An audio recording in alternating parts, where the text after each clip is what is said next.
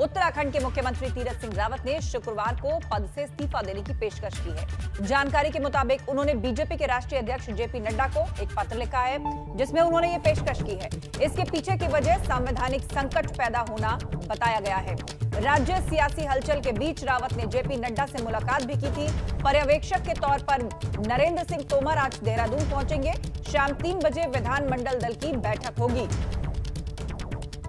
तो केंद्रीय मंत्री नरेंद्र तोमर पर्यवेक्षक बनकर उत्तराखंड पहुँचेंगे और महत्वपूर्ण बात यह कि आज शाम तीन बजे जो है वो विधायक दल की बैठक होने जा रही है। उत्तराखंड को आज मिल सकता है नया मुख्यमंत्री और सूत्रों से मिली खबरों के मुताबिक कोई मौजूदा विधायक ही मुख्यमंत्री बनेगा।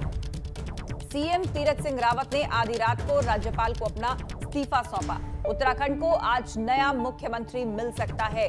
दिन भर इससे जुड़े हर घटनाक्रम पर हमारी नज़र बनी रहेगी। लेकिन इस वक्त की बड़ी खबर यही कि उत्तराखंड के मुख्यमंत्री तीरथ सिंह रावत ने अपना इस्तीफा राज्यपाल को सौंप दिया है। उत्तराखंड में अगला सीएम कौन होगा? मुख्यमंत्री की रेस में कौन है? सतपाल महाराज, धन सिंह रावत, रितु खंडूरी, पुष्कर सिंह धामी, ये चार नाम ऐसे हैं जिनको लेकर चर्चाएँ तेज हैं कि क्या इनमें से हो सकता है उत्तराखंड का नया मुख्यमंत्री?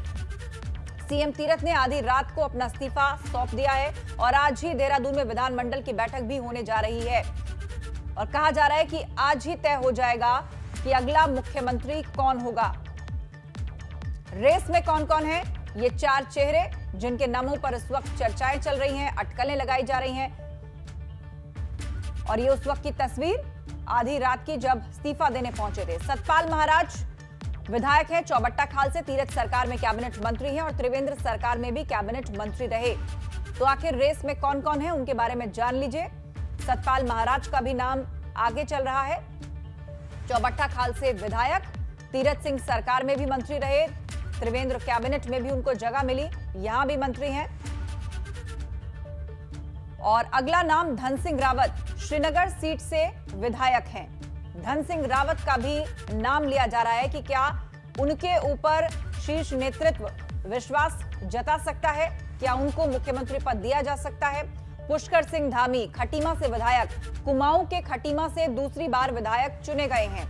और पुष्कर सिंह धामी का भी नाम चल रहा है कि क्या अगले मुख्यमंत्री वो बनाए जा सकते हैं। इसके अलावा ऋतु खंडूरी विधायक हैं रमकेश्वर से। उत्तराखंड भाजपा की महिला इकाई की अध्यक्ष भी हैं।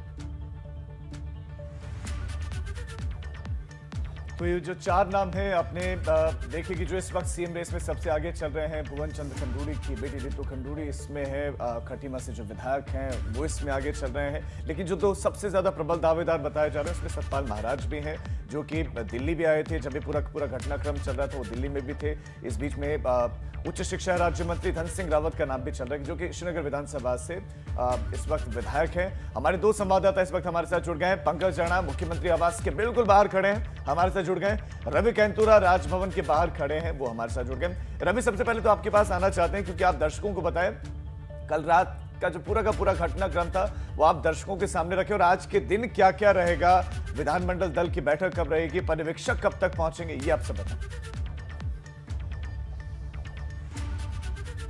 बिल्कुल राजीव, अगर मैं बात करूँ तो इस वक्त मैं जो मुख्यमंत्री का निजी आवास है, वहाँ पर इस वक्त खड़ा हूँ जीएमएस रोड पे। और आज का जो पूरा घटनाक्रम है, उस पर लगातार एबीपी गंगा की नज़र रहेगी कि क्या कुछ होता है। लेकिन अगर कल की बात करें तो कल देर रात को मुख्यमंत्री तीरथ सिंह रावत ने अपना इस्तीफा राज्यपाल को सौंपा और उसके बाद तमाम चीज़ें स्पष्ट हो गई कि अब उत्तराखंड को एक नया मुख्यमंत्री मिलने जा रहा है। आज तीन बजे विधानमंडल दल की बैठक है जिस पर सभी की निगाहें टिकी हुई है। और सबसे बड़ी बात, प्रदेश अध्यक्ष मदन कौशिक ने यह कहा है कि जो नया मुख्यमंत्री होगा, वो जो मुख्यमंत्री है, वो विधायकों में से ही होगा। तो इसमें यह देखना होगा कि जो सीनियर विधायक है जैसे कि नाम आपने भी अभी ज़िक्र किया तमाम उनके बारे में आपने बताया तो उसी पर आज निगाहें है कि कौन अगला मुख्यमंत्री उत्तराखंड का होगा। लेकिन जो कल का पूरा सियासी घटनाक्रम रहा वो काफ़ी जो है पूरे प्रदेश के लिए भी एक ऐसा था जिसको जिसकी किसी ने शायद कल्पना नहीं की थी। हालाँकि कुछ दिनों से लगातार जो अटकलें तेज थी उसको एबीपी गंगा दिखा रहा था कि उत्तराखंड की राजनीति में कुछ बड़ा होने वाला है और फिर से सत्ता परिवर्तन जैसी जो संभावनाएँ हैं जो स्थितियाँ हैं वो बन रही हैं। और वो तमाम चीज़ें वो अटकलों उन पर कल जो है विराम लग चुका है और अब नया मुख्यमंत्री उत्तराखंड को मिलेगा। जाएगा। तो जो तीरथ सिंह रावत की अगर सफ़र का बात करें तो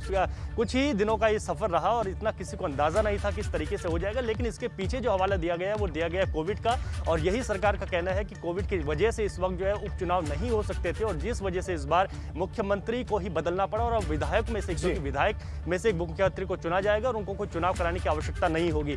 तो तमाम आज का जो पूरा घटनाक्रम है वो काफ़ी महत्वपूर्ण है उत्तराखंड के लिए सभी की निगाहें उस पर है कि आज के दिन क्या क्या होता है। जल्दी से पंकज का रुख कर रहे थे। पंकज आप बताइए अपनी लोकेशन की आप इस वक्त कहाँ पर है, क्या कुछ हलचल है? मुख्यमंत्री की जो रेस है, एक तो बुजुलिस हमने दर्शकों को दिखाई वो है। क्या कोई और नाम भी है जो इस वक्त चर्चा में? क्योंकि हमने देखा था इससे पहले जब त्रिवेंद्र सिंह रावत हटाए गए थे तो बहुत से नामों की चर्चा हुई थी, लेकिन तीरथ सिंह रावत को जो है गद्दी पर बिठा दिया गया था। तो वो और कौन कौन से नाम है जिन, जिनकी चर्चा नहीं हो रही, लेकिन वो चर्चा में, रेस में?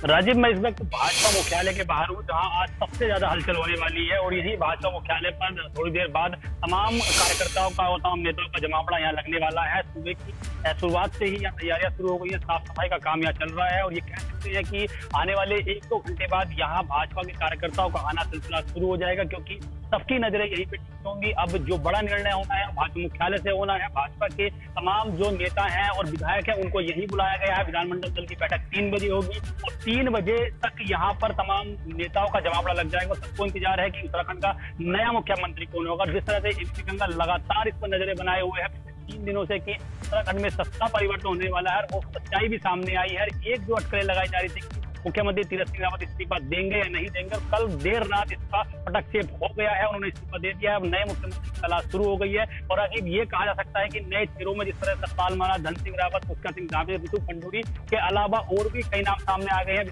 हाल का नाम भी इसमें मुख्यमंत्री के लिए माना जा रहा है, क्योंकि वरिष्ठ नेता भी है, इसके अलावा कुछ ऐसे और नाम भी हैं जो लाइन दौड़ में चल रहे हैं। अब इसका अंतिम निर्णय जो है वो विधायमंडल दल की बैठक का होगा ये भी कहा जा सकता है, क्योंकि पिछले दौरान अभी तो देखा गया है जितने संभावित नाम मीडिया में या वैसे चल रहे थे, उनमें से एक भी नाम सामने नहीं आया था। एकाएक केंद्रीय हाईकमान ने तीरथ सिंह रावत को उत्तराखंड की सत्ता सौंप दी थी तो ऐसे में कहा सकता है कि कुछ भी हो सकता है क्योंकि भाजपा अंतिम निर्णय लेती है और अंतिम में एकाएक सभी विधायकों को कह दिया जाता है। दिल्ली से फ़ोन आता है सभी को एक सहमति के साथ ये कह देता है कि ये आपके मुख्यमंत्री होंगे और सभी विधायकों को सभी नेताओं को मानना भी पड़ता है। पर्यवेक्षक आएँगे पर्यवेक्षक के तौर पर नरेंद्र सिंह तोमर यहाँ रहेंगे और राष्ट्रीय मीडिया प्रभारी अनिल बनूनी भी इस बार आ रहे हैं क्योंकि वो उत्तराखंड की चीज़ों को बारीकी से समझते हैं और पिछले बार जो हुआ था उससे कहीं ना कहीं भाजपा बचना चाह रही है कि ऐसी परिस्थितियाँ फिर दोबारा ना बने। इसलिए ये माना जा रहा है कि आज बहुत सोच समझकर भाजपा निर्णय लेगी और ये तीन बजे के बाद साफ़ हो जाएगा कि उत्तराखंड का अगला मुख्यमंत्री कौन होगा बिल्कुल तो तीन बजे तक का जो वक्त है वो बेहद महत्वपूर्ण है, क्योंकि इसी दौरान जो सारे घटनाक्रम है वो हमें देखने को मिलेंगे। आप दोनों उस पर नज़र बनाए हुए हैं। रुक करेंगे पंकज राणा का, वो भी हमारे साथ हैं। पंकज बताइएगा कि आज तीन बजे तक का वक्त है और जब सारे घटनाक्रम इस दौरान हो जाएँगे पर्यवेक्षक बनकर नरेंद्र सिंह तोमर भी आ रहे हैं, इस दौरान किससे उनकी मुलाकात होगी? देखिए, पर्यवेक्षक लगभग नौ बजे के करीब यहाँ पहुँच जाएँगे। साढ़े नौ बजे तक का आने का उनका वक्त है और आने के बाद वो पहले भाजपा के तमाम वरिष्ठ नेताओं से पहले मुलाकात करेंगे। हो सकता है वो गेट टुगेदर करें जो भाजपा के बड़े लीडर से उनसे मुलाकात करें और एक नाम की आपसी सहमति के तौर पर विधायकों से बातचीत करेंगे तो संभव से माना जा रहा है तो पहले आकर जो भाजपा प्रदेश अध्यक्ष के साथ जो वरिष्ठ नेता उत्तराखंड के, उनसे मुलाकात करेंगे और एक सहमति बनाने की कोशिश की जाएगी ताकि विधायकों की बैठक के दौरान तकरार न बने और ये न रहे कि अलग अलग विधायक अलग अलग नेताओं के नाम सामने रख दे, क्योंकि इस बार ये तो तय है कि इस बार जो उत्तराखंड का मुख्यमंत्री होगा, वो विधायकों में से होगा, क्योंकि भाजपा ने पिछले दौरान जो गलती की, उससे सबक लेकर भाजपा ये नहीं चाहती है कि सांसद को या विधानमंडल दल से अलग के नेता को मुख्यमंत्री की सत्ता सौंप दी जाए। ऐसे में अब ये माना जा रहा है कि भाजपा विधायकों में से ही किसी वरिष्ठ विधायकों में से आप बता रहे हैं कि किसी एक को चुना जाएगा। रवि कैंतुरा का रुख करते हैं। रवि अब सवाल ये है कि जो नया मुख्यमंत्री बनेगा वो गढ़वाल से बनेगा या कुमाऊं से बनेगा? अब बीजेपी कौन कौन से समीकरण साधेगी? इस वक्त पहाड़ों की बात करें तो ब्राह्मण ये कह रहे हैं कि ठाकुरों को प्राथमिकता दी जाती है, इसीलिए रावत को मुख्यमंत्री बना देते हैं। ब्राह्मण अपने आप को कमतर, उनको कमतर महसूस कराया जा रहा है। तो क्या एक बार इस बार क्या ब्राह्मण चेहरा हो सकता है? क्या हो सकता है? गढ़वाल से हो सकता है, कुमाऊं से हो सकता है, कहाँ से हो सकता है? राजीव देखिए जो अभी इस वक्त की बात करें और जिस तरीके की सिचुएशन उत्तराखंड में इस वक्त बन रही है और मदन कौशिक जिनने जो कहा है उन्होंने कहा कि विधायकों में से इस वक्त जो है उनको प्रदेश का मुखिया चुनना है।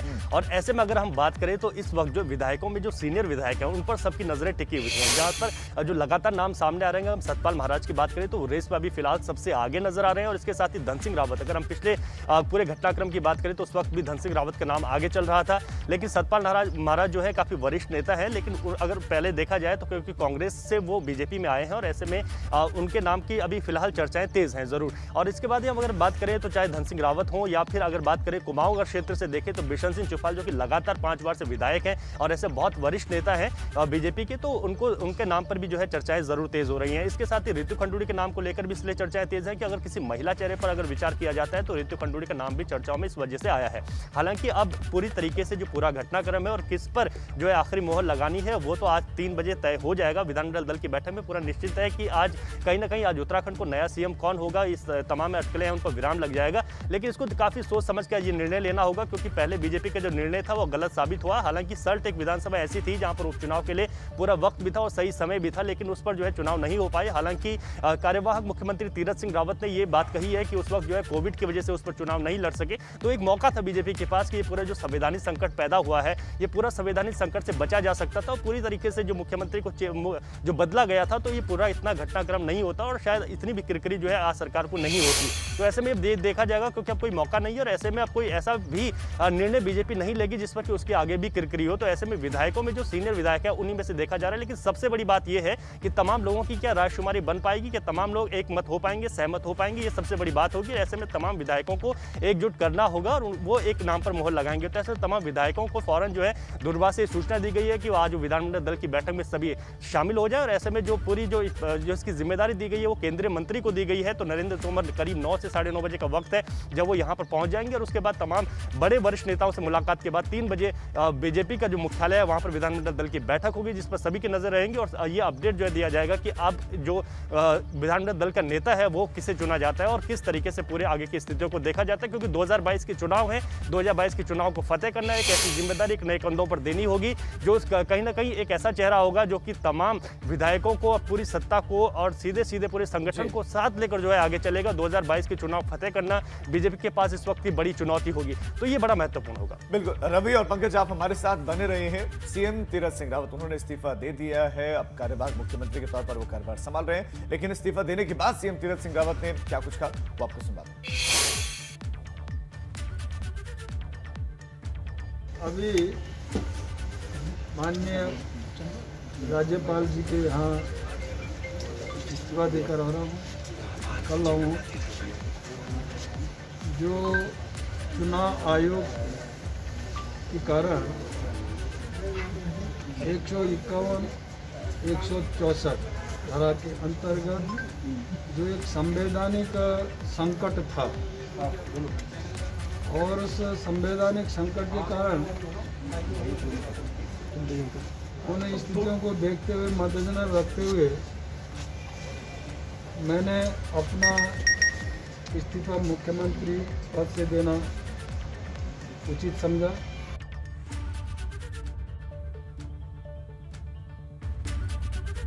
तो आपने सुना क्या कुछ कहा इस्तीफा देने के बाद मुख्यमंत्री तीरथ सिंह रावत ने और हमारे दो संवाददाता हमारे साथ जुड़े हुए रवि कैंपुरा और पंकज राणा। रुक करेंगे पंकज राणा का। पंकज, चार तस्वीरें इस वक्त दिखा रहे हैं। सीएम पद की रेस में ये चारों हैं। इसके अलावा बिशन सिंह चुपाल का भी नाम अब लिया जा रहा है। लेकिन जिस तरीके से ये इस्तीफा हुआ है, चुनाव ज़्यादा दूर नहीं है तो ऐसा संवैधानिक संकट हो सकता है या होगा इसका आकलन? पार्टी ने शुरू में किया होगा जब तीरथ सिंह रावत को लाया गया था।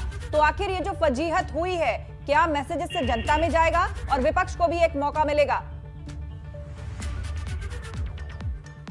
बिल्कुल आशा देखिए विपक्ष को तो मौका मिल ही गया है क्योंकि सत्ता परिवर्तन बहुत बड़ा निर्णय होता है और इसको कहीं ना कहीं भाजपा ने जिस भी परिस्थितियों में किया है, ये एक जनता के बीच में और कांग्रेस के बीच में निगेटिविटी इसकी गई है और यहाँ पर भी कई ऐसे लोग अभी सुबह के बस्तियाँ मिले घूमते फिरते जिलों में नाराज़गी जताई है। उनका कहना है कि किसी भी मुख्यमंत्री को जब बदला जाता है तो दूसरे मुख्यमंत्री को इसी इच्छा के साथ बैठाया जाता है कि वो बेहतर काम करेगा। और ये एक मुख्यमंत्री को बदलना कोई परिस्थितियाँ ऐसी नहीं हुई है और किसी तरह की ऐसी नहीं हुई है कि जिससे मुख्यमंत्री को बदलना पड़ा। संविधानिक संकट की बात ज़रूर कही जा रही है। लेकिन मुख्यमंत्री को एक एक चार महीने के भीतर बदल देना कहीं ना कहीं एक जनता के बीच में नकारात्मक चीज़ भाजपा के लिए गई है और ये चुनावों में इसका इफ़ेक्ट पड़ने वाला है। चुनाव जब होंगे आम चुनाव जब होंगे तो कहीं ना कहीं लोग इस बात को ज़रूर सोचेंगे कांग्रेस ने तो इसको लेकर चुनावों के दौरान ज़्यादा जनता के बीच जाकर अगर और और, और मचाया अल्लाह किया तो निश्चित तौर पर जनता के बीच में निगेटिविटी भाजपा की जाएगी।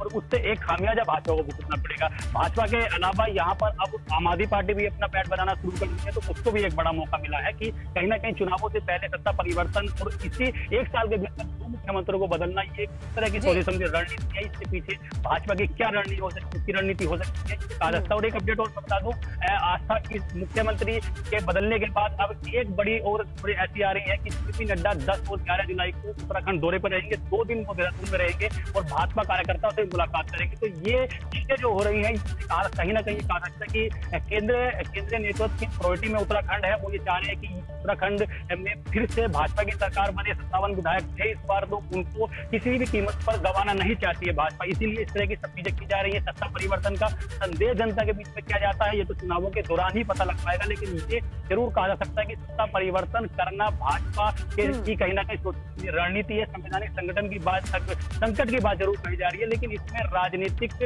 नफा नुकसान भी देखा गया है क्योंकि इस दौरान इस तरह की सूचना भी आई थी ऐसी भी खबरें मिली।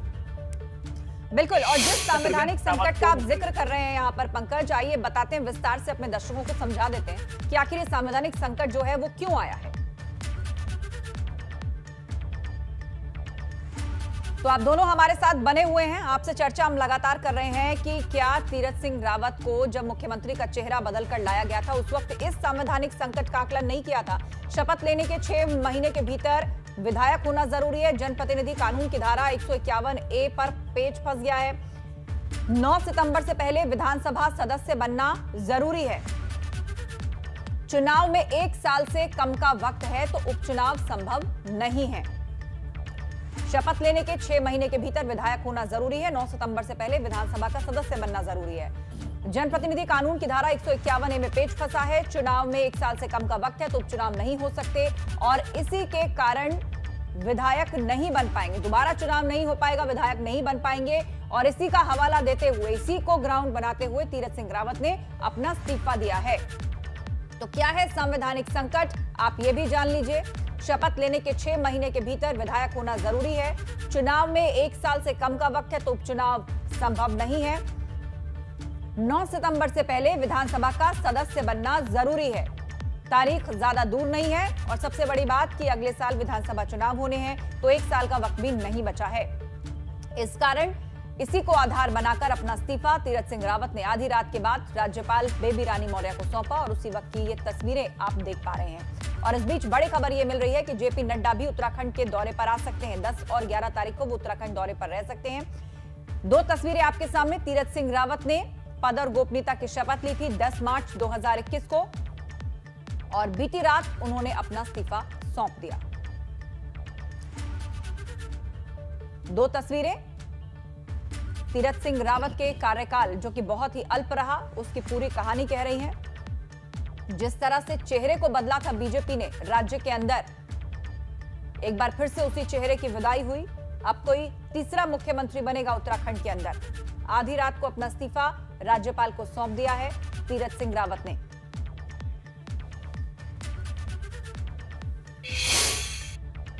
वक्त की सबसे बड़ी सियासी हलचल पर हमारी नज़र बनी हुई है कि उत्तराखंड में किस तरह से तीरथ सिंह रावत ने अपना इस्तीफा दिया है। अब अगला सीएम कौन होगा?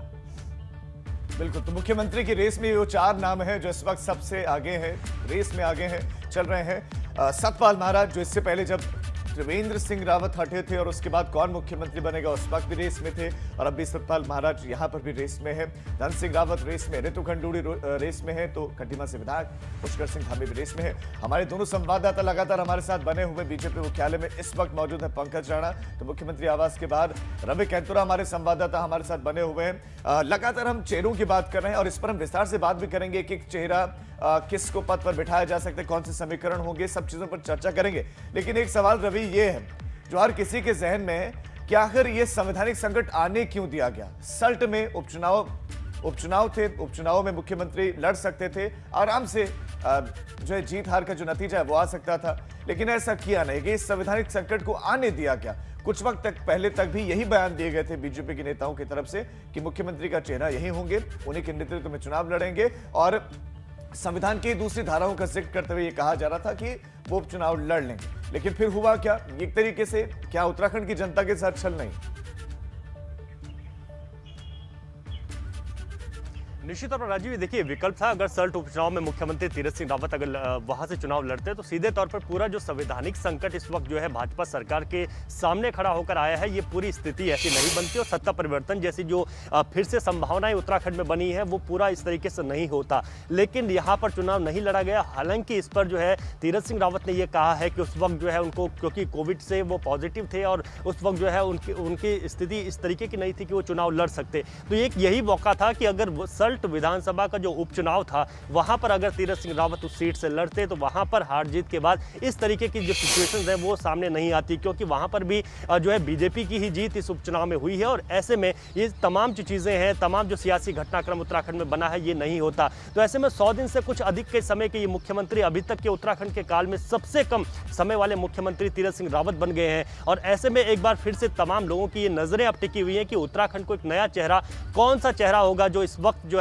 इस सिचुएशन में क्योंकि ठीक 2022 में विधानसभा के चुनाव है। ऐसे में 2022 के विधानसभा चुनाव को फतेह करना है और बीजेपी इस वक्त जो है किस एक ऐसे चेहरे को सामने लेकर आएगी जिस पर जिसके कंधों पर ये पूरी जिम्मेदारियाँ दी जाएँगी। ये भी चीज़ें स्पष्ट है कि इस वक्त मुख्यमंत्री की कुर्सी बिल्कुल कांटों भरी है और इस कुर्सी पर बैठने के बाद तमाम इतनी जिम्मेदारियाँ जो है उन कंधों पर होंगी जिनका तमाम पूरी तरीके से निर्वहन करना होगा। 2022 के जो चुनाव है उसकी पूरी जिम्मेदारियाँ उसके पूरे जो जो भी जिम्मेदारियाँ तय करनी है वो खुद उस कुर्सी पर बैठकर करनी होगी। तो ऐसे में आज जो लगातार ये अब ये अटकलें तेज हैं लगातार पूरा उत्तराखंड ये जानना चाहता है कि अब इन पाँच सालों में फिर से तीसरा मुख्यमंत्री और तमाम जो हम लगातार संवैधानिक संकट की बात कर रहे हैं जिन धाराओं की हम बात कर रहे हैं लोगों से उन लोगों को उन धाराओं से मतलब उतना खास नहीं होता है। बिल्कुल सिर्फ़ लोगों को मतलब तो अपने मुद्दों से होता है अपने विकास से होता है और फ़िलहाल जनता यही चर्चा कर रही है कि जब से उत्तराखंड राज्य अस्तित्व में आया है यहाँ एनडी तिवारी को छोड़कर कोई अपने मुख्यमंत्री पद का कार्यकाल पूरा नहीं कर पाया और यही इस वक्त सबसे बड़ी विडंबना।